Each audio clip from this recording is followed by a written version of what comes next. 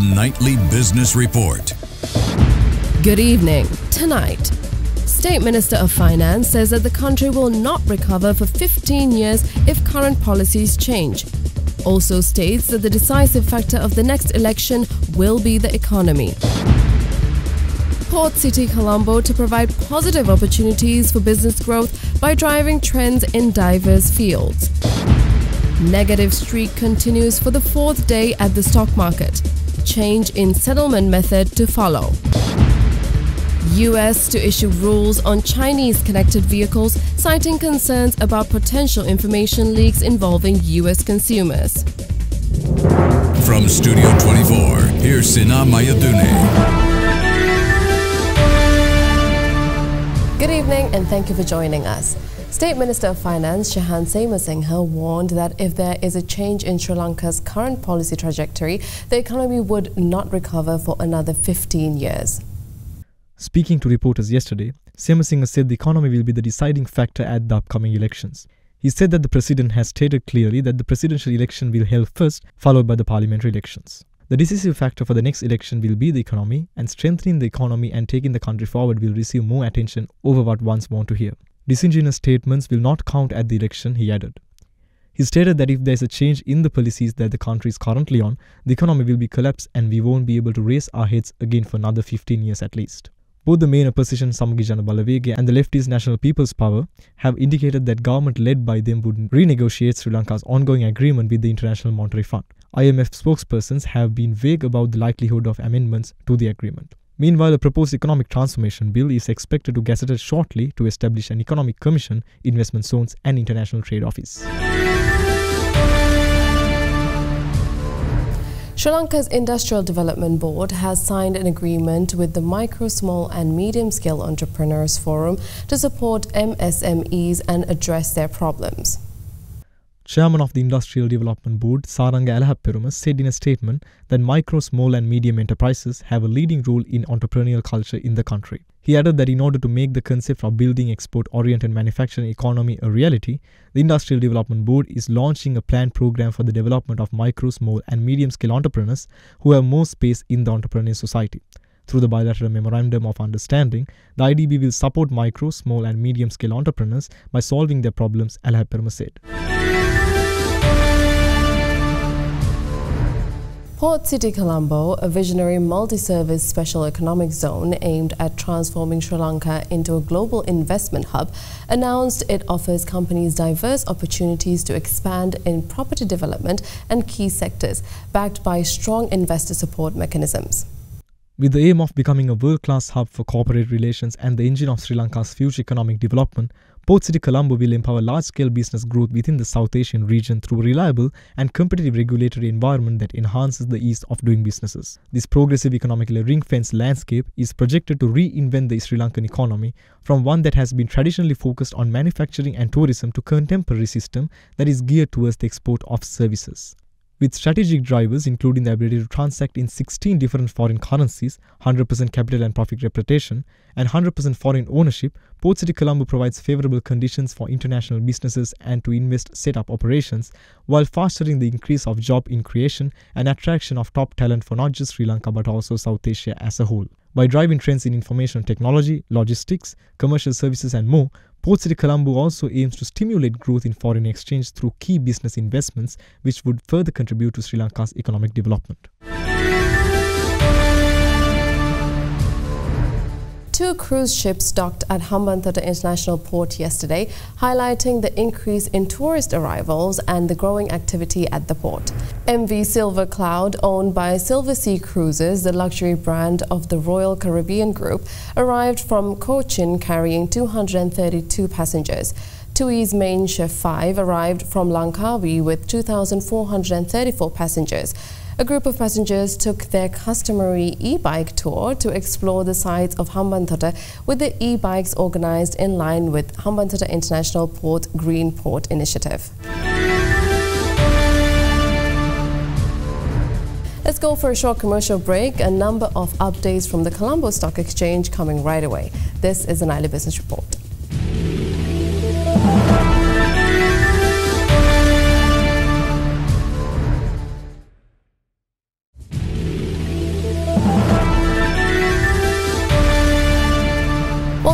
Nightly Business Report. The Chief Executive Officer of the Colombo Stock Exchange, Mr. Rajeeva Bandaranaike, says that the steps have been taken to revise the T plus 3 method, which has been followed so far for settlement of Colombo Stock Exchange transactions from the 10th of June 2024. In a statement, he said that T plus 3 system will be shortened with effect from 10th of June 2024. The T plus 3 is a settlement of an equity transaction on the third day from the transaction date. According to this new notification, the procedure will be reduced to two market days from the date of transaction. Accordingly, the trades executed on 10th of June 2024 will be settled on the 12th of June 2024. Further, the trades executed on 7th of June 2024 will also be settled on 12th June 2024. This amendment applies to all equity transactions. Marking its fourth consecutive day of losses, the Colombo Stock Exchange closed in the red again. Both the All Share Price Index and the S&P SL20 Index fell, making this week a predominantly negative trading period. For the breakdown, let's go to Sachin Unambua from Capital Alliance Securities. Today, the Colombo Stock Exchange concluded with a decline compared to the previous trading session, ending at 12,259.27 points, making a 32 point decrease from the previous session with a turnover of 1.4 billion rupees. The SL20 index also experienced a downward movement of 3 points to end the day at 3,633.80 points. Notable institutional engagement was observed across various sectors, with significant turnover in John Keells Holdings plc, Teejay Lanka plc, and Hayleys Fabric plc. The top five gainers for the day were Blue Diamond Jewelry Worldwide plc non-voting, Sathosa Motors plc, Mala and Phipps Ceylon plc, Resus Energy plc, and the Fortress Resorts plc. The top five losers for the day were Renuka Agri-Foods PLC, LVL Energy Fund PLC, Blue Diamonds Jewelry Worldwide PLC Voting, Nation Lanka Finance PLC, and the Lanka Ventures PLC. Foreign purchases amounted to 89.5 million rupees, while foreign sales amounted to 184.2 million rupees. Gold prices hovered near a one-month high today as signs of inflation stabilizing in the U.S. increased the likelihood of rate cuts by the Federal Reserve as early as September. Spot gold was little changed at $2,383.86 per ounce after hitting its highest since April 19th earlier in the session. Bullion rose over 1% yesterday. On the other hand, U.S. gold futures slipped 0.3% to $2,388.40. U.S. retail sales were unexpectedly flat last month, while cooling consumer prices and last week's labor market data came as good news to Fed policymakers waiting to see renewed progress on inflation before reducing rates. Oil prices extended gains from the previous session today on signs of stronger demand in the U.S., where data showed slower inflation than markets expected, bolstering the argument for an interest rate cut that could drive greater consumption. Brent futures rose 32 cents or 0.4% to $83.07 a barrel, while U.S. West Texas Intermediate crude gained 31 cents or 0.4% to $78.94. U.S. consumer prices rose less than expected in April in a boost to financial market expectations for a September rate cut by the Federal Reserve, which could temper dollar strength and make oil more affordable for holders of other currencies. Elsewhere, U.S. crude oil, gasoline and distillate inventories fell, reflecting a rise in both refining activity and fuel demand. The Sri Lankan rupee has further depreciated against the US dollar today compared to yesterday, according to the Central Bank of Sri Lanka. The buying rate for the US dollar has risen from 296 rupees and 74 cents to 297 rupees and 31 cents, while the selling rate has climbed from 306 rupees and 42 cents to 307 rupees and 3 cents. Additionally, the rupee has weakened against a basket of foreign currencies. Let's see the latest rates.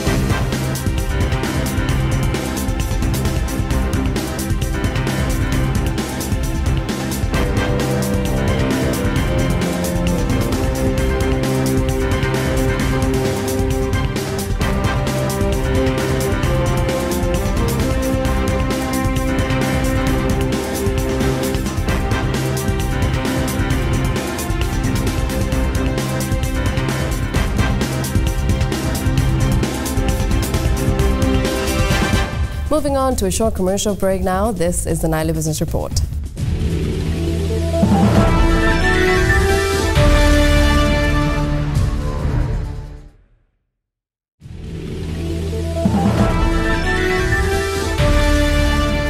Welcome back to the Nightly Business Report. Fonterra Cooperative Group Limited has announced today a step change in its strategic direction as it commits to deepening its position as a world-leading provider of high-value innovative dairy ingredients.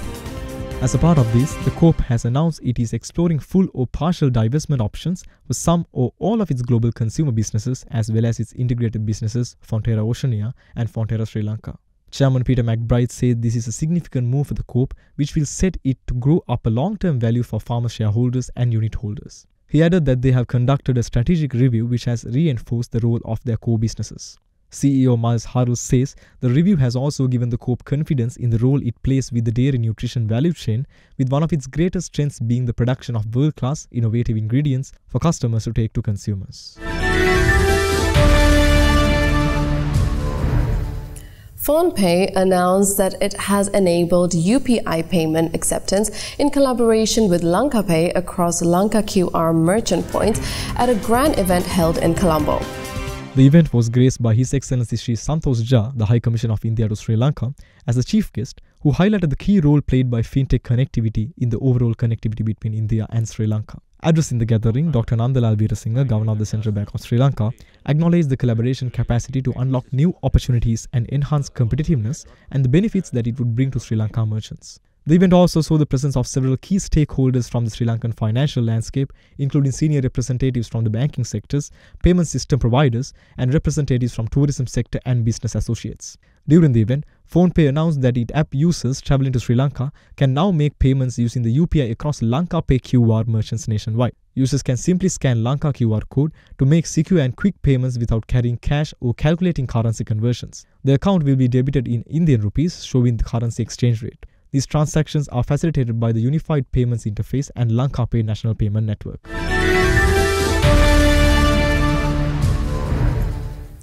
Commercial Bank has announced a strategic partnership with QNE to enhance the capabilities of small and medium enterprises through the Commercial Bank Leap Global Linker platform.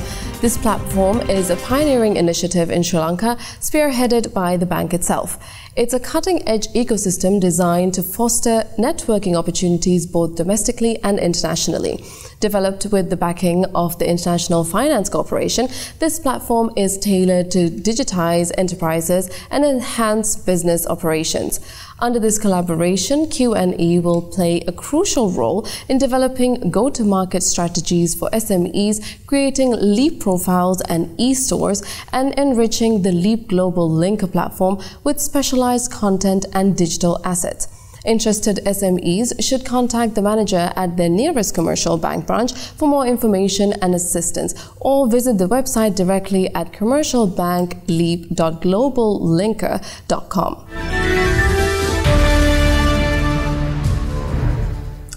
Sri Lankan Cargo, the cargo arm of Sri Lankan Airlines, has partnered with Cargo AI, a leader in digital freight solutions, to simplify and enhance its air freight booking and payment processes and bring more transparency and velocity for users than ever.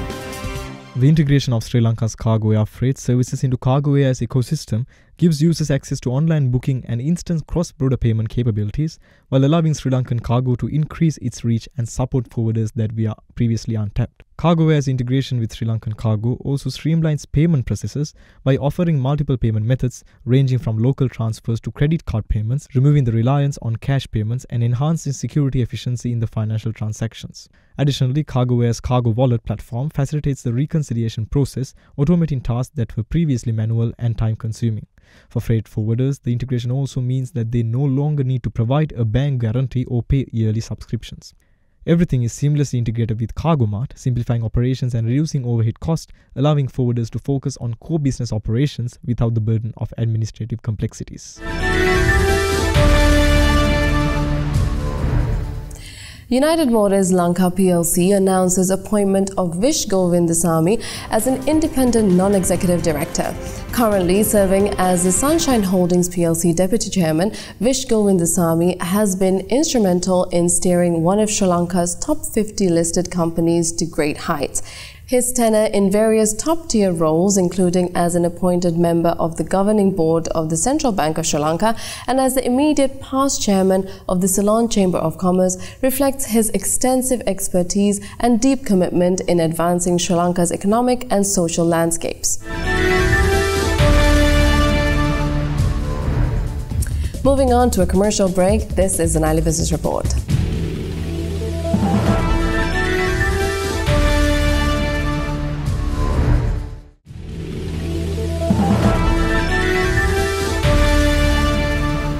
To the Nightly Business Report.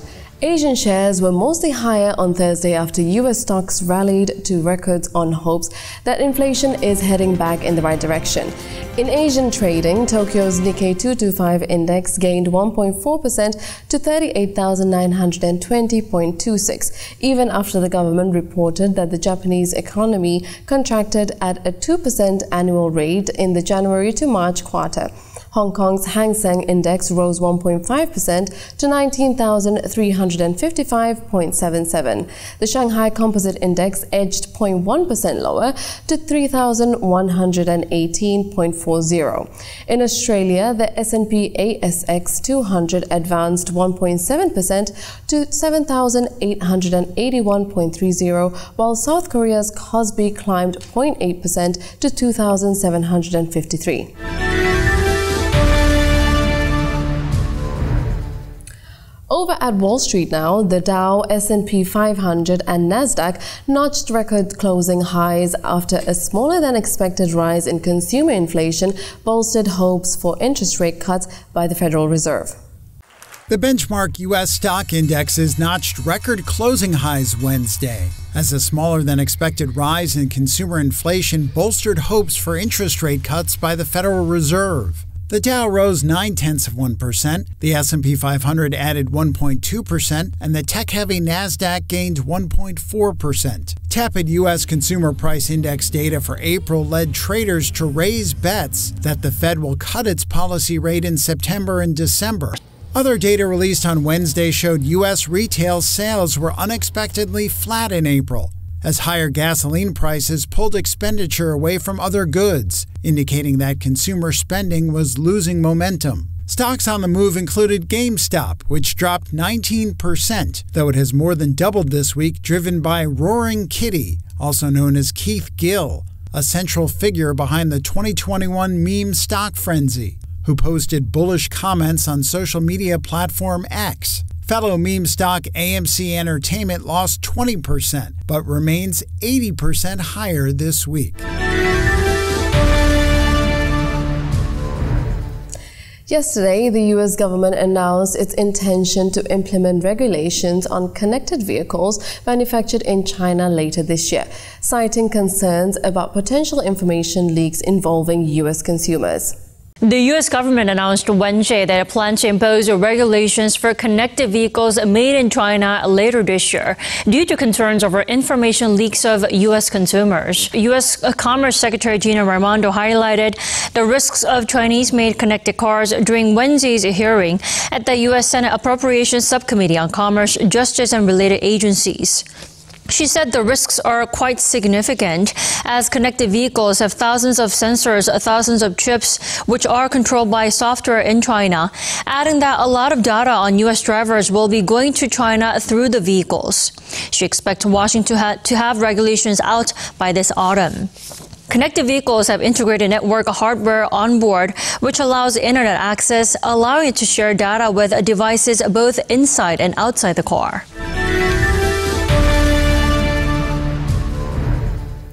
Japan's economy has fallen faster than expected in the first quarter as the weak yen continued to batter consumers.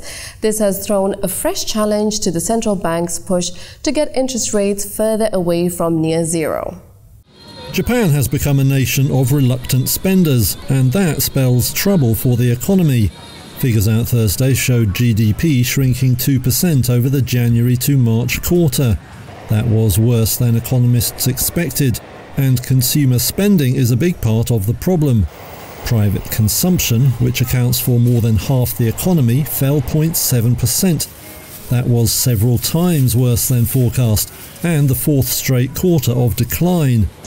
Policymakers are now banking on rising wages and income tax cuts to spur demand. One economist told Reuters that such factors were sure to drive gains over the coming months, saying the economy had now bottomed out. But a weak yen is a worry, making imports more expensive and squeezing consumption. A wobbly global economy doesn't help either, with demand for exports uncertain. It all adds up to a dilemma for the Bank of Japan over interest rates. Governor Kazuo Ueda started raising rates in March for the first time since 2007. More hikes had been widely expected, but may now come more slowly if the economy shows further signs of weakness.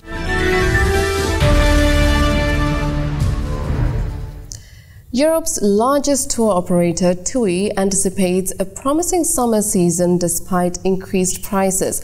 The German company reported that 60% of its summer packages have already been sold, matching the sales levels of last year. TUI sees a bright summer ahead despite higher prices.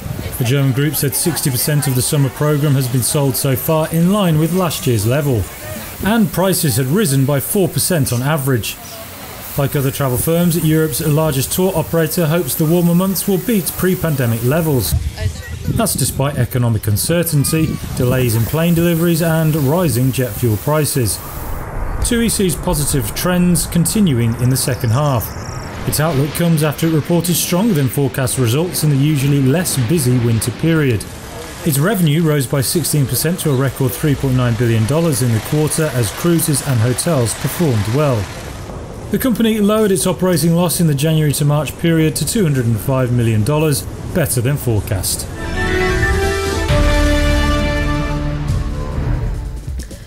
That's it from all of us at the Nightly Business Report. We'll see you all again tomorrow at the same time with the latest news from across the business world. I'm Sina Mayadunne. Have a good night.